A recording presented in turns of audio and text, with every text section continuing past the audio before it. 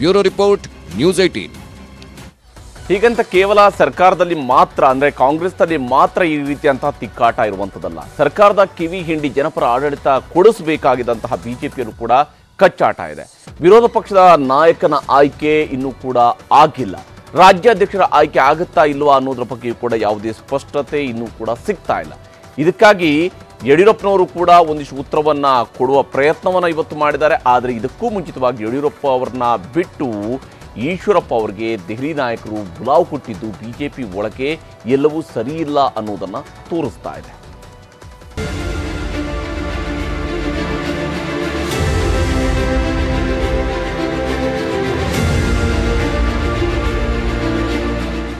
December ನಾಲ್ಕರಿಂದ December ಹದಿನೈದರವರೆಗೆ ಬೆಳಗಾವಿಯಲ್ಲಿ ಚಳಿಗಾಲದ ವಿಧಾನಸಭೆ ಅಧಿವೇಶನ ಶುರುವಾಗ್ತಿದೆ. ಇದು ಸಿದ್ದರಾಮಯ್ಯ ಸರ್ಕಾರದ ಎರಡನೇ ಅಧಿವೇಶನ. ಈ ಅಧಿವೇಶನಕ್ಕಾದ್ರೂ ಬಿಜೆಪಿಯಿಂದ ವಿಪಕ್ಷ ನಾಯಕರ ಆಯ್ಕೆಯಾಗುತ್ತಾ ಅನ್ನೋ ಪ್ರಶ್ನೆ ಮೂಡಿದೆ. ಸರ್ಕಾರ ರಚನೆಯಾಗಿ ಐದು ತಿಂಗಳು ಕಳೆದ್ರೂ ಬಿಜೆಪಿ ವಿಪಕ್ಷ ನಾಯಕನ ಆಯ್ಕೆ ಮಾಡಿಲ್ಲ. ಇದರಿಂದ ಅಸಮಾಧಾನಗೊಂಡಿರುವ ಬಿಜೆಪಿ ಶಾಸಕರು ವಿಪಕ್ಷ ನಾಯಕನನ್ನ ಆಯ್ಕೆ ಮಾಡಿಸಿ ಅಂತ ಯಡಿಯೂರಪ್ಪ ಬಳಿ ದೊಂಬಾಲು ಬಿದ್ದಿದ್ದಾರೆ. ಬಿಎಸ್ವೈ ಮೂಲಕ ಹೈಕಮಾಂಡ್ಗೆ ಒತ್ತಡ ಹಾಕ್ತಿದ್ದು ಕೆಲ ಸಂದೇಶಗಳನ್ನು ಕಳಿಸಿದ್ದಾರೆ. ಸರ್ಕಾರಕ್ಕೆ ವಿಪಕ್ಷ ನಾಯಕ ಇಲ್ಲ ಅನ್ನೋದೇ ದೊಡ್ಡ ಅಸ್ತ್ರ ಆಗೋಗಿದೆ. ಪ್ರತಿಪಕ್ಷ ನಾಯಕನ ಆಯ್ಕೆಗೆ ಇಷ್ಟು ತಡ ಸರಿಯಲ್ಲ.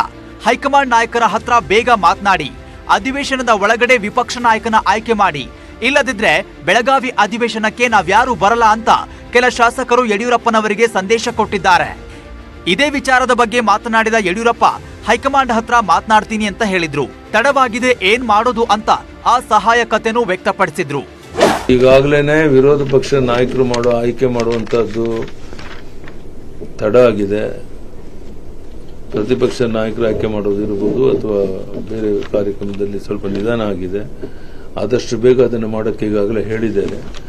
ಮತ್ತೆ ಒತ್ತಾಯ ಮಾಡಿ ಆದಷ್ಟು ಬೇಗ ಎರಡು ತೀರ್ಮಾನಗಳನ್ನ ಮಾಡೋಕ್ಕೆ ನಮ್ಮಿಂದ ಎಲ್ಲ ಪ್ರಯತ್ನವನ್ನು ಮಾಡುತ್ತೇವೆ ಈ ಮಧ್ಯೆ ದೆಹಲಿಗೆ ಬರುವಂತೆ ಮಾಜಿ ಸಚಿವ ಈಶ್ವರಪ್ಪ ಶ್ರೀನಿವಾಸ್ ಪೂಜಾರಿ ಪಿಸಿ ಮೋಹನ್ಗೆ ಬಿಜೆಪಿ ಹೈಕಮಾಂಡ್ ಬುಲಾವ್ ಬಂದಿತ್ತು. ಹೀಗಾಗಿ ಮೂವರು ನಾಯಕರು ದೆಹಲಿಗೆ ಪ್ರಯಾಣಿಸಿದ್ದಾರೆ. ಬಿಜೆಪಿ ರಾಜ್ಯಾಧ್ಯಕ್ಷ ಹಾಗೂ ವಿಪಕ್ಷ ನಾಯಕ ಆಯ್ಕೆ ಬಗ್ಗೆಯೂ ಚರ್ಚಿಸುವ ಸಾಧ್ಯತೆ ಇದೆ.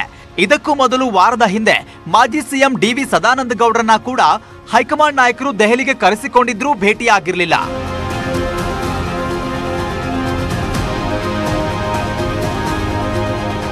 ಇನ್ನು ಬಿಜೆಪಿ ರಾಜ್ಯಾಧ್ಯಕ್ಷರ ಆಯ್ಕೆ ಪ್ರಕ್ರಿಯೆಯು ಬಿಜೆಪಿಯಲ್ಲಿ ಗರಿಗೆದರಿದೆ. ಕೇಂದ್ರ ಸಚಿವೆ ಶೋಭಾ ಕರಂದ್ಲಾರ್ಜೆ ರಾಜ್ಯಾಧ್ಯಕ್ಷೆ ಆಗ್ತಾರಾ ಅಂತ ಯಡಿಯೂರಪ್ಪನವರನ್ನ ಪ್ರಶ್ನೆ ಕೇಳಿದಾಗ ಯಾರನ್ನಾದ್ರೂ ಮಾಡ್ಲಿ ಬೇಗ ಮಾಡಿದ್ರೆ ಸಾಕು ಅಂತ ಹೇಳಿದ್ರು.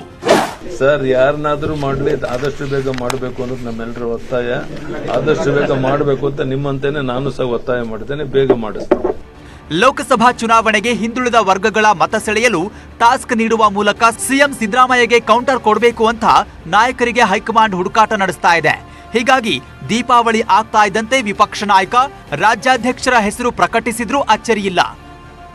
Bureau report, news eighteen. ಇನ್ನು ಕುರ್ಚಿಗಾಗಿ ರಾಜ್ಯದ ಮೂರು